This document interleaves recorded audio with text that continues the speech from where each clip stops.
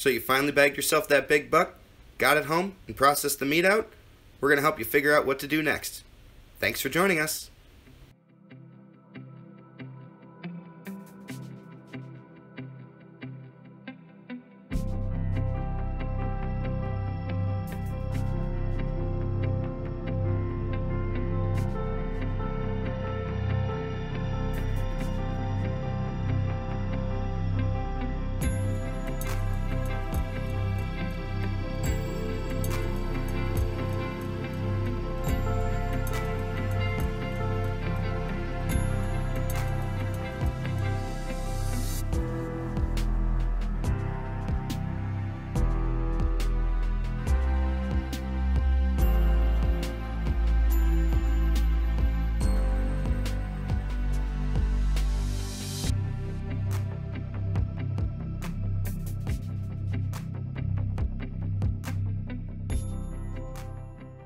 So we finally made it to where I have time to process out some burger. I've just been collecting cuts from a bunch of the steaks I've been cutting in a bag, and I've got a bunch more burger cuts in the freezer that I need to do this to. I'll just thaw them out and do the same thing.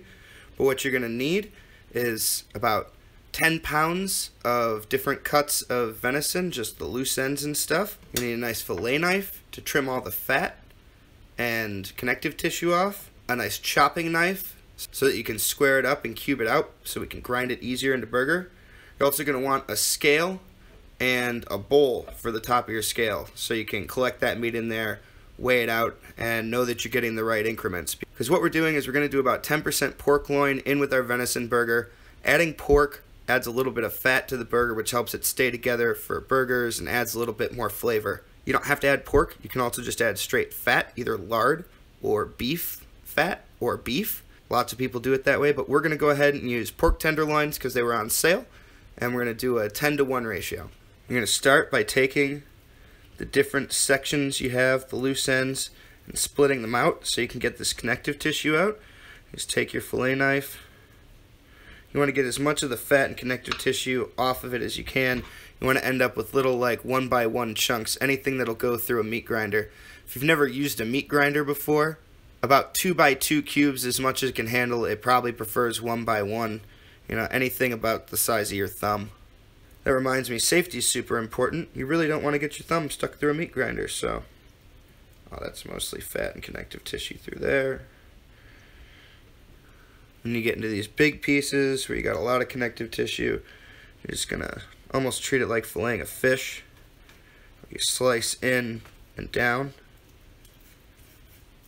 you're really good, it gives you something to pull, but I am not really good. I'm not even kind of good.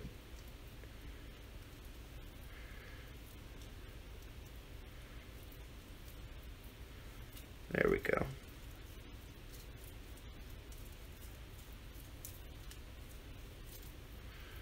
Just pull that right off and finish it.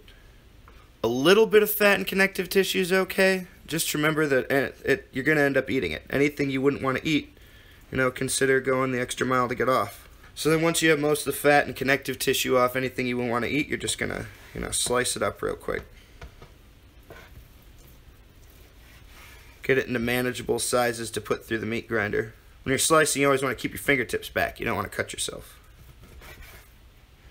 And then once you've got them, you know, cubed up, I just put them right into the bowl. And I got a trash can off to the side for the extra trimmings. And we're going to do that until we get, well, actually, we're going to get 9 pounds. We want 9 pounds so we can get to 10% by adding a pound of pork. When you're chopping, you want to let the blade do the work. When you're pushing really hard, that's when you get into problems. You want your meat really cold. Cold meat's a lot easier to work with, especially when you're going through the grinder.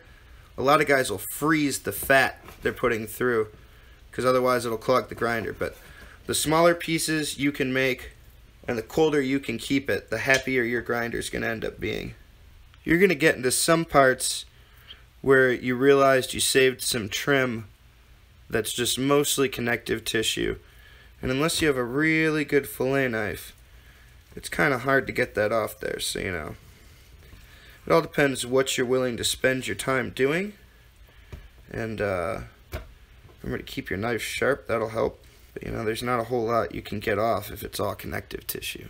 If you're ever hitting connective tissue you're having a hard time getting through, just flip your knife sideways, treat it like you're skinning a fish. Sometimes if I'm having a hard time getting a grip, I'll just nail it down there, take my other knife.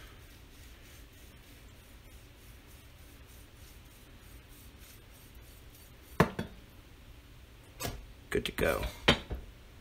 At this point, we've got a mostly full bowl of cut up meat squares. You know, there's still a little fat and connective tissue in there, but it'll be fine. You just want to make sure you have enough that it'll taste good and grind out easy. I'm going to pull our scale up and see what that weighs. I know it's not 10 pounds, but it's about 3 pounds once you subtract the weight of the bowl. So we're going to go ahead and do that three more times basically, and then cut up some pork tenderloin, and we'll show you how to grind it. So now that we have our venison all processed out, we went and rinsed off all our tools and our cutting board. You're also going to want this chopped up into one inch cubes and remember, for this, you want the fat. The whole point of the pork is to have fat on it. So you're just going to aim for the fattiest parts. You know, like here's a piece of fat. We're just going to go ahead and throw that fat right in there.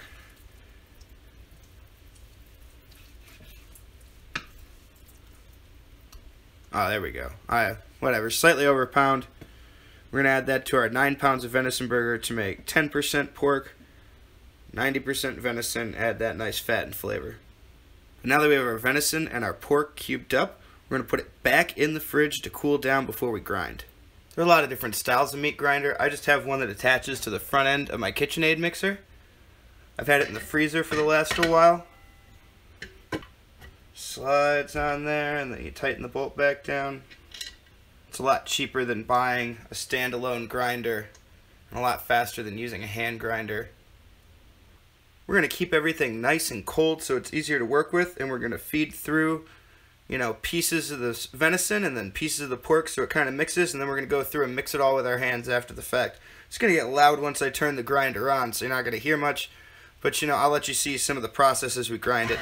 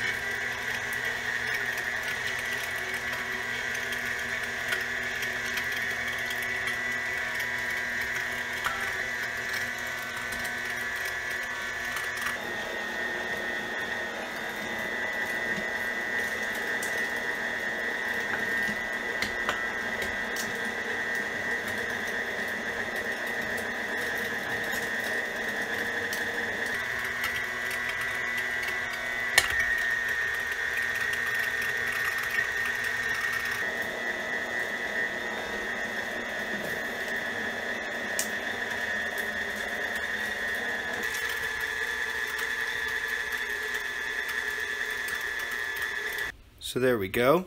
There, you know, about 10 pounds of ground venison and pork. It's already mixed pretty well, but we're going to go ahead and just sort through it. Give it one last little shimmy up. I use a coarse grind because I don't make sausage or anything. I literally just like the burger for meatloaf and hamburgers and venison gravy. There are a lot of guys who will then go through and throw this through another grind to get it ground up even finer. But you can see it's it comes together real well the pork mixes in great with the venison. Gives it a nice fat content. Not really increasing your fat content a lot. Make sure you get all the way to the bottom.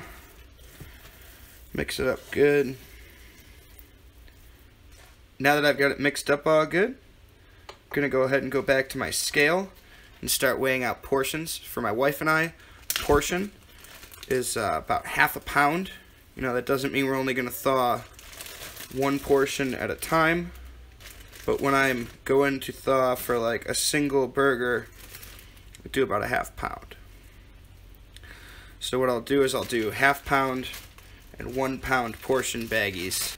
I wait to seal all my baggies at the end because uh, my hands are all gross and I don't want my seals to be gross. That was a half pound. Let me show you about what a one pound portion baggie looks like. You know, I don't delete the size of the baggie. I don't tear the baggie off my uh, scale weight. I'm not a drug dealer. This isn't cocaine. I'm not super worried about being off by, you know, two grams or whatever a baggie weighs. Okay, so that's about a pound. That's 1.1. So that's what you get. You know, you get a half pound portion and a one pound portion. I'm going to squeeze as much air out of these as I can and then put them in the fridge for a while because my wife and I will eat the, the 10 pounds of burger within the next couple weeks before it goes bad. If you need to freeze it, you know, you just push all the air out of it and pop it in your freezer. Before I put this away though, we're going to go ahead and make ourselves up a burger patty. Quarter pound burger patty. Quarter pound burger patty. You want to put a good dent in the middle of your burger patties. That's how you keep them from swelling in the middle. I'm going to take that over to the frying pan. Just got a little pan out. To make it quick. Putting it over a little bit of medium heat. To throw some butter and garlic in the pan. Ooh, my pan might be a little hot. There we go. Lower heat. Butter's melted, not burning. Just to throw a little garlic in there. Then we're to go get our venison patty and get a good sear on it. It's a pretty thick burger, so I'm to go ahead and put a lid on it. Give it a flip.